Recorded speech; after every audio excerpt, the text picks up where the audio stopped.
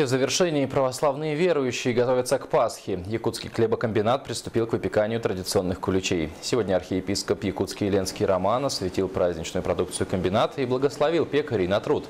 Предприятие готовит главное угощение пасхального стола на протяжении шести лет. Куличи готовят по традиционному рецепту, используя молоко, яичный порошок, сахар, воду и изюм. Украшают куличи белково-сахарной глазурью и кондитерской стружкой. Освященные пасхальные куличи поступят в продажу уже с сегодняшнего дня. Главным кушанием любого застолья является хлеб. Хлеб всему голова.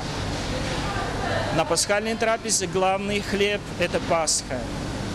По-особому украшается, по-особому с любовью и молитвой печется и находится в центре стола. Как символ праздничного настроения, как символ пасхальной радости. Ежегодно Якутский хлебокомбинат производит более 15 тонн куличей, и в этом году это не исключение.